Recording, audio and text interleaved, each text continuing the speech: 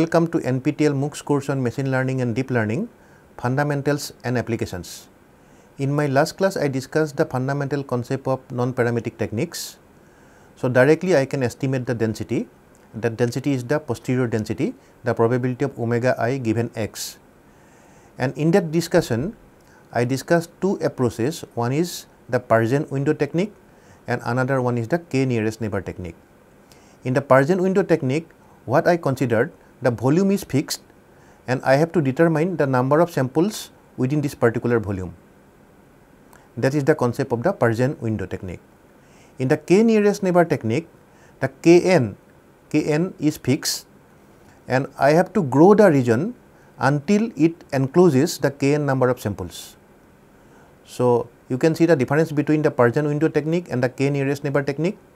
In the Parzen window technique, the volume is fixed, I am counting the number of samples that is kn within this particular volume. And in case of the k nearest neighbor technique, kn is fixed. So, I have to increase the region, I have to grow the region until it encloses the kn number of samples. That is the difference between the Parzen window technique and the k nearest neighbor technique. Now, today I will discuss the concept of the Parzen window. So, let us start this class the concept of the Parzen window. So, in my last class I discussed the concept of the non-parametric techniques.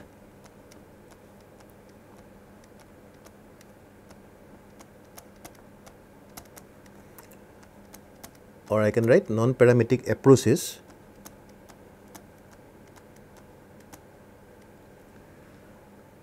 So, in the non-parametric approaches what I have determined the probability this is the recap of the previous class. So, probability that a vector, the vector is the feature vector, the vector x will fall in a region R. So, what is the probability? So, probability we derive like this so, the region is R and this is the Px that is the density and dx. So, now what we considered n is the total number of samples.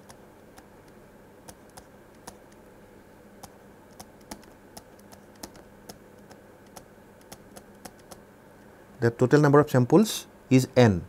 So, k means the how many samples within this particular region. So, we have determined that probability of k. What is k? The number of samples within this particular region. The probability of k is nothing but we are considering the binomial distribution p to the power k 1 minus p n minus k.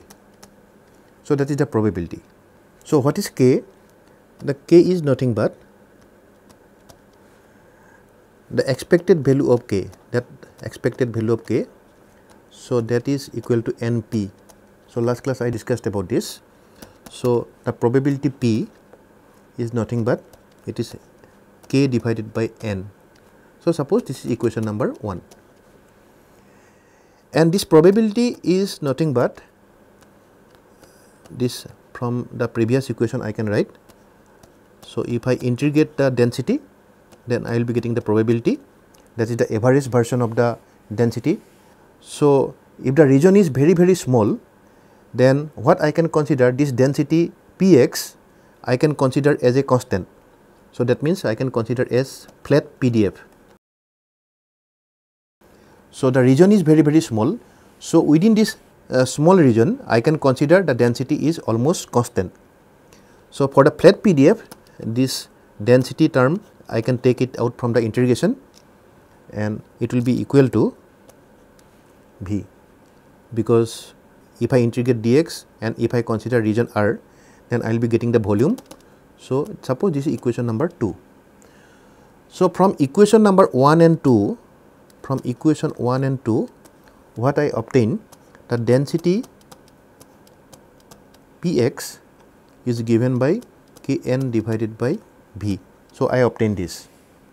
So, what we obtain this density I can determine that is the ratio k divided by n that is the variance So, last class I discussed about this. So, this is a k divided by n is the variance. So, this density is actually this density. This is the class conditional density. And what is the volume V? The volume is the hyper volume, hyper volume of the region.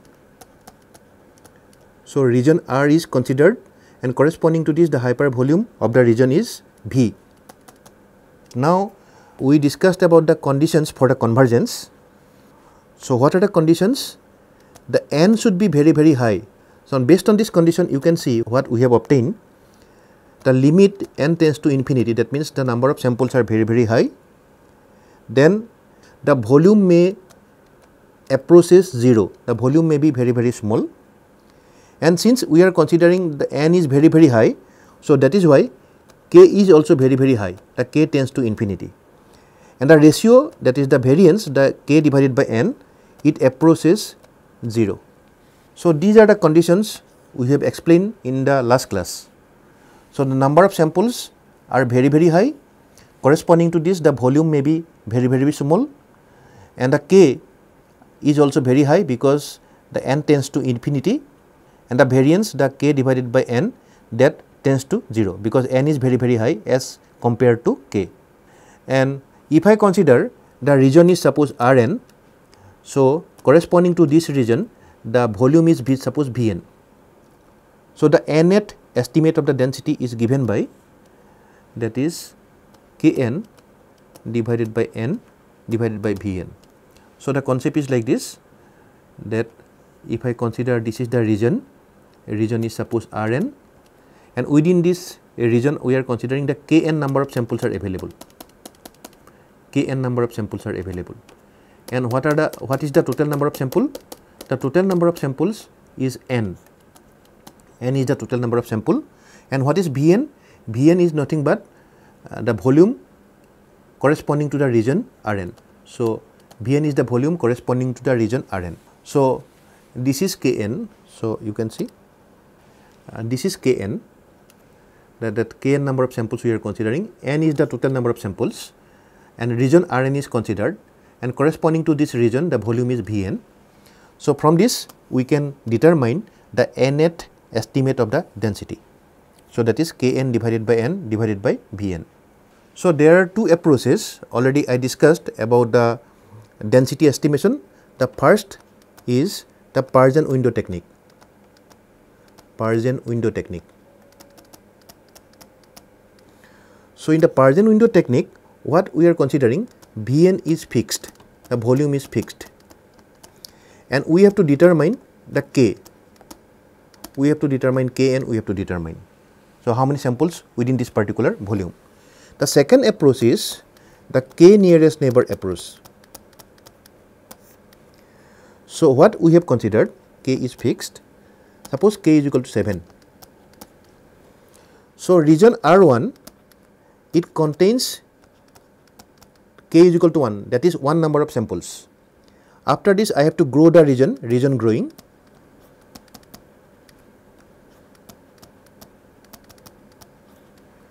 So, region R 2 it contains k is equal to 2, the 2 number of samples.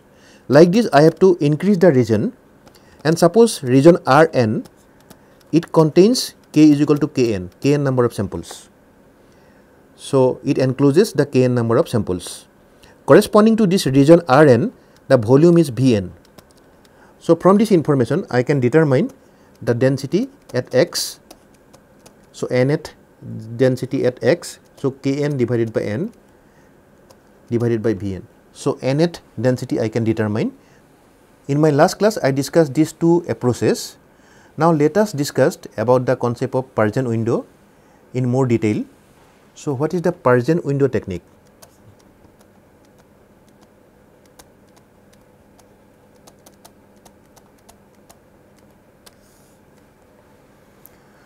So, for Parzen's window, what we are considering? We are considering a hypercube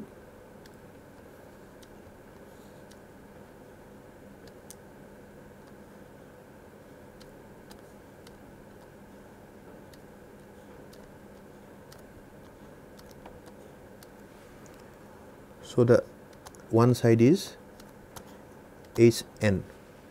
So, what we are considering? We are considering a hypercube is side is h n. So, each side is h n. So, corresponding to this what is the volume of this hypercube?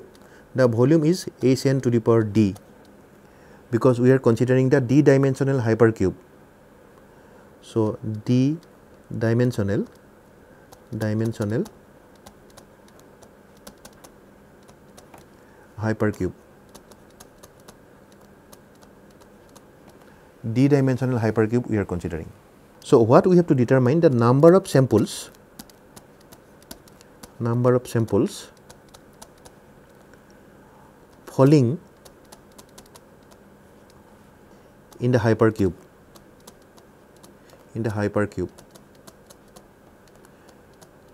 So, for this what we are considering we are considering one window function.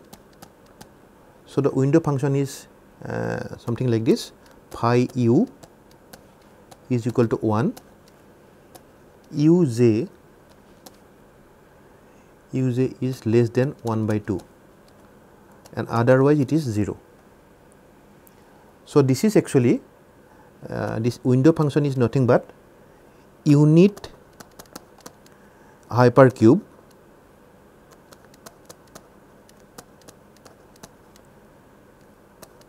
centered at origin.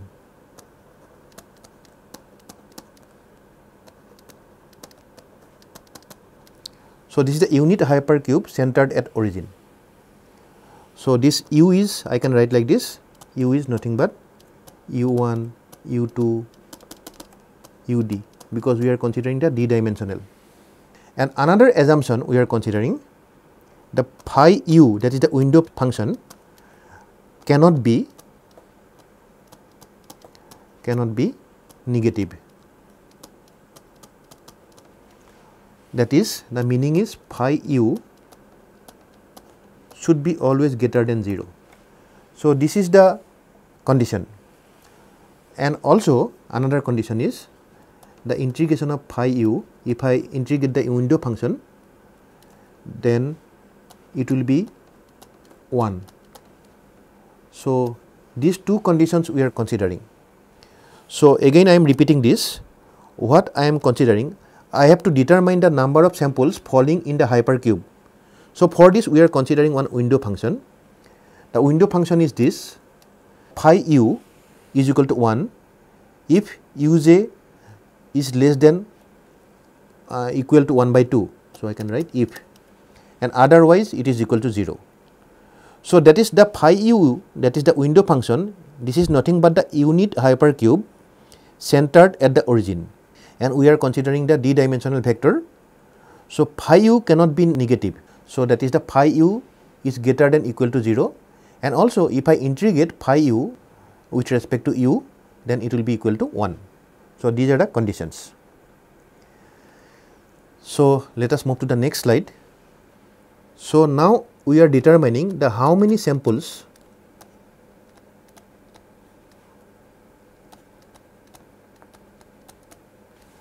how many samples within within the volume Vn that is the hyper volume is Vn. So, how many samples within this particular volume.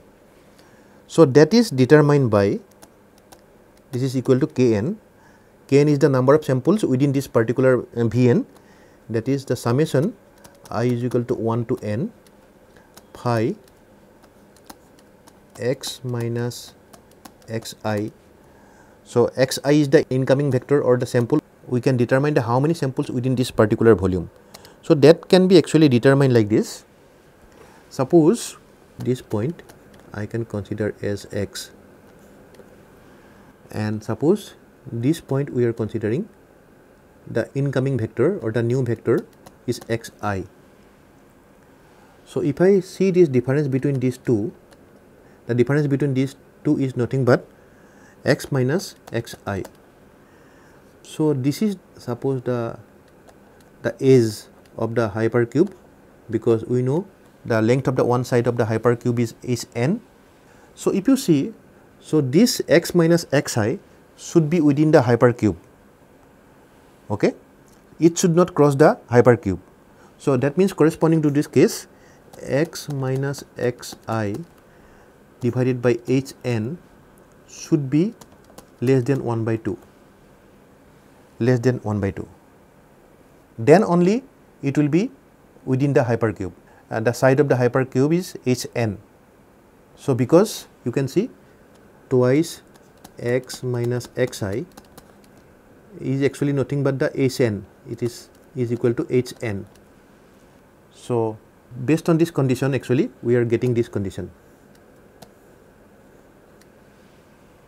So, x minus xi divided by hn should be less than equal to 1 by 2.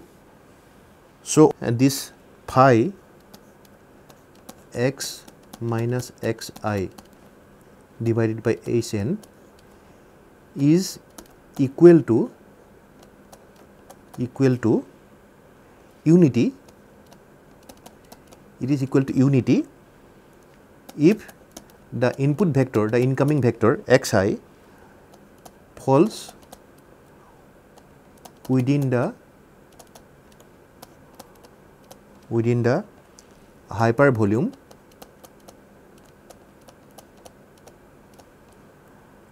Vn centered at origin.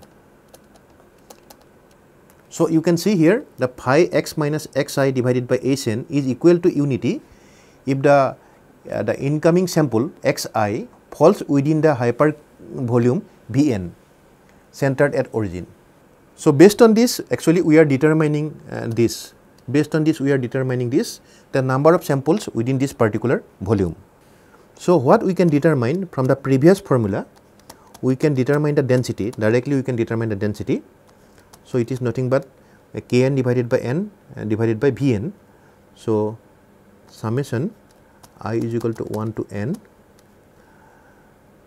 1 by vn phi x minus xi divided by hn we can determine this one. So, this is the expression for the density. Now, let us see whether it is a valid PDF or not. So, for this what we are doing now Pnx dx that is equal to 1 by n same expression I am writing 1 by n i is equal to 1 to n and just I am integrating if I integrate a PDF then it should be equal to 1. So, that is why the integration is considered.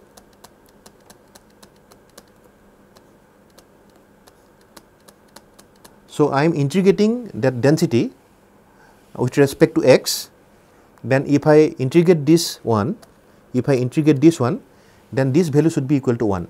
So, I have to test if it is equal to 1 then it will be a valid PDF that means our estimated density is perfect. So, now for this determining this so we are considering let u is equal to x minus xi divided by hn. So, let we are considering u is equal to this. So, what will be the du if I differentiate this one then it will be equal to dx divided by hn to the power d because in this case we considered what we considered x is equal to uh, x1, x2, xd d dimensional. So, that means I have to differentiate d times. So, that is why it is hn to the power d for this d dimensional vector. So, that is equal to what is hn to the power d? to the power d is nothing but the volume. hn to the power d is nothing but the volume. So, we are getting this. So, what we have considered the, in the previous expression Pn x dx is equal to 1 by n. Summation i is equal to 1 to n. 1 by V n that integration we are considering integration phi x minus x i divided by h n dx. So, which can be written like this? 1 by n summation i is equal to 1 to n. So, it is equal to uh, integration phi u phi u we can consider phi u du is equal to 1 because we know if I take the integration phi u du that is equal to 1. So, that is actually the property of the window function. In this expression actually what we have considered du the, if you see the previous expression du is replaced by dx divided by vn. So, that we obtain. So, that means uh, this dx is nothing but so, the dx is nothing but Vn du. So, if I consider this one then this Vn Vn will be cancelled out and I will be getting 1 by n summation i is equal to 1 to n integration phi u du is equal to 1. So, that means uh, this value we are getting dx is equal to 1. So, that means so this estimated density is a proper PDF, the probability density function. So, Pnx is a proper PDF. So, that we have determined.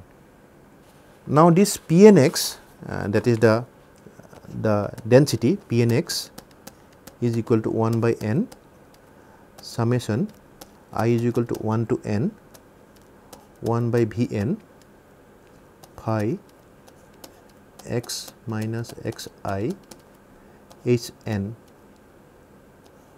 So, we have this expression for the density.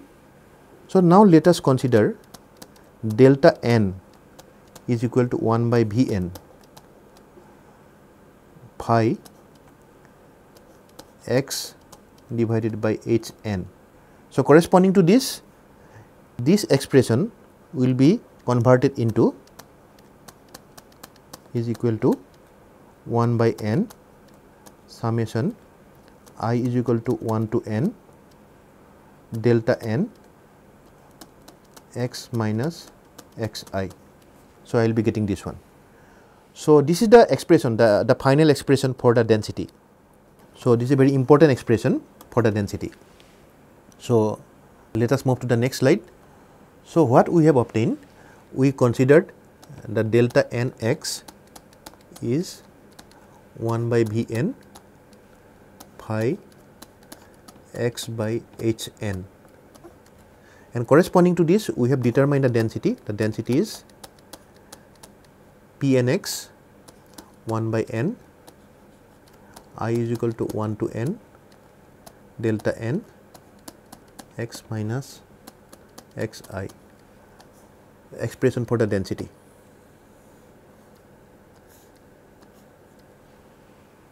So, in this case uh, you know that the V n is equal to H n to the power d, the volume is V n is equal to H n to the power d. So, you can see the H n clearly affects both amplitude and the width of the delta function. So, H n clearly affects both amplitude and the width of the delta function of delta n x that is the window function. Okay. So, now let us consider how actually h n affects the estimation of the density function. So, there are two cases the case number 1 if h n is large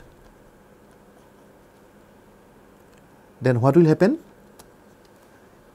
Amplitude of delta n is small and x the vector x must be far from x i. So, this is the outcome if the Hn is very large, the amplitude of delta function delta nx already we have determined. So, amplitude of the delta function is small and x must be far away from xi. So, then this estimated density is the is the superposition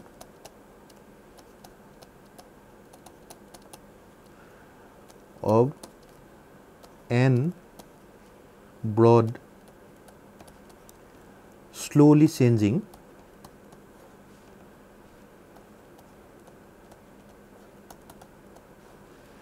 functions.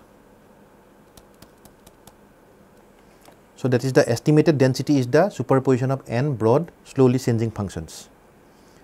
So, that means I can show like this pictorially. So, this is the estimated value of the density and what I will be getting? I will be getting something like the flat PDFs, the superposition of n broad slowly changing functions. So, these are the flat PDFs. So, it actually corresponds to this condition actually corresponds to less resolution.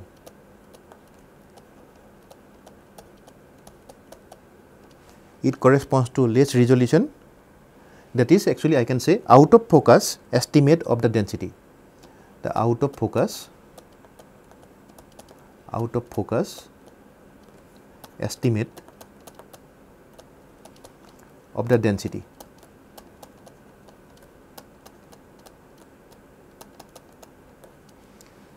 So, if I consider this case in the case number 1, if the Hn is very large, amplitude of delta n is small and x must be far from xi so, corresponding to this you can see this estimated density is the superposition of n broad slowly changing functions.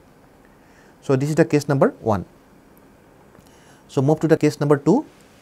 So, in the case number 2 if h n uh, if h n is very small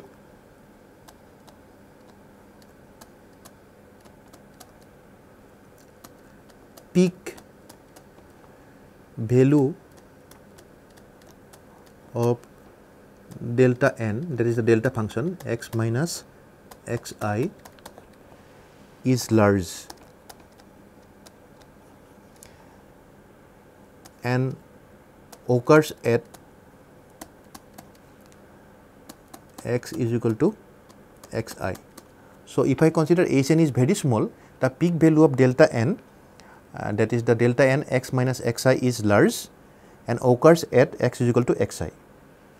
So, that means the meaning is this estimated density is the summation of impulses summation of impulses at every sample points.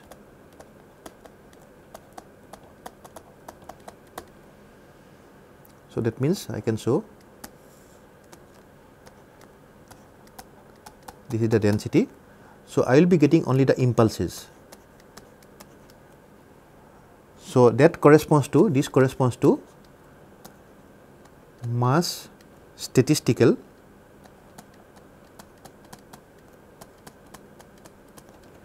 variability.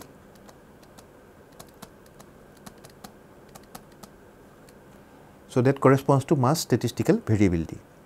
So, that means we are considering the h n is very small and corresponding to this the peak value of the delta function delta x minus xi will be very large and it occurs at the point x is equal to xi and corresponding to this the estimated density is the summation of impulses at every sample points and that corresponds to mass statistical variability. So, this is a condition. So, two conditions we are considering in case number 1 we are considering h n is very large in the second case we are considering h n is very small. So, what is actually this delta function if you see the delta function what is this delta function? So, delta n x we considered is equal to 1 by V n phi x by h n. This is the uh, definition of the delta function. So, this is actually the Dirac delta function. So, this delta nx meaning is the delta nx is an impulse function impulse function at x. So, as the Hn tends to 0 that it approaches 0 then what will happen? This delta x minus x i it approaches a Dirac delta function. Dirac delta it approaches a Dirac delta function centered centered at the point the point is nothing but x. And in this case this the density the estimated density is a superposition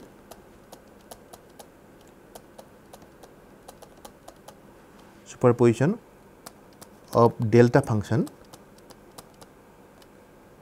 delta function centered at at the samples centered at the samples. So, that is the meaning of this case number 2. So, that means you can see here what is uh, this impulse the Dirac delta function is this is the impulse at the point at x this is the Dirac delta function.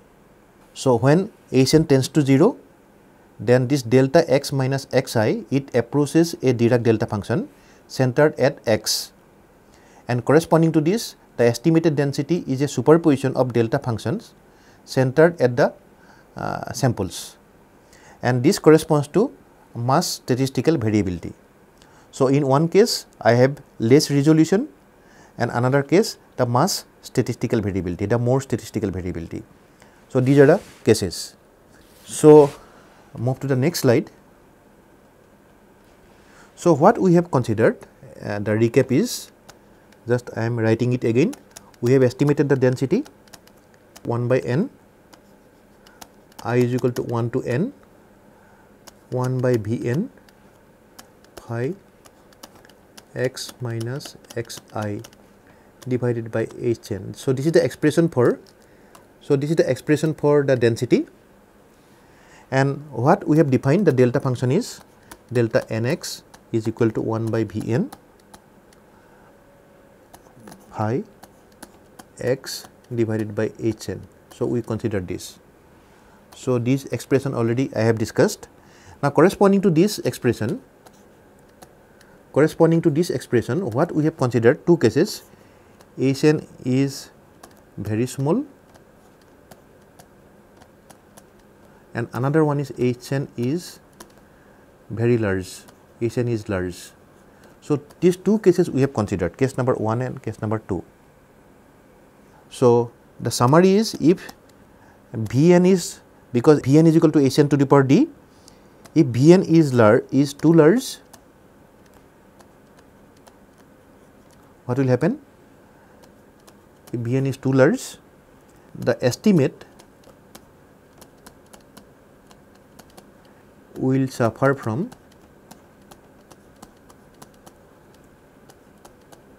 suffer from little resolution little resolution and another case if Vn is too small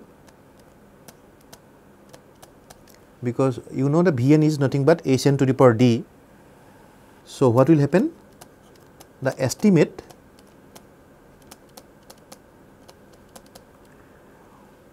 will suffer from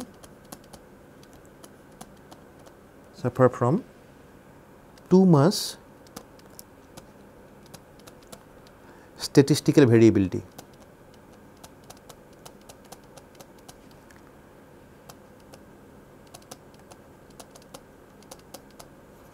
So, these are two extreme cases. So, Vn is too large and Vn is too small. So, one condition we have to consider now. So, if I consider n tends to infinity the number of samples are very very high then we can consider the Vn may be very very small that we can consider. So, that thing we will discuss later on the conditions for the convergence.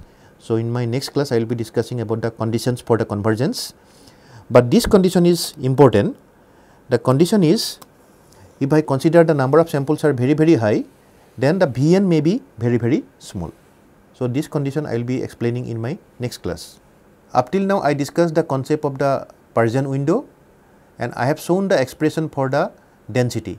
So, we can estimate the density with the help of the Parzen window technique. After this I discussed two cases. In the first case I discuss when the Vn is very very small, the volume is very very small and another case the if the volume is very very large. These two cases we have discussed and after this I will discuss the conditions for the convergence. So, one thing is very important the number of samples are very very high and in this case I can consider the volume may be very very small. So, let us stop here today thank you.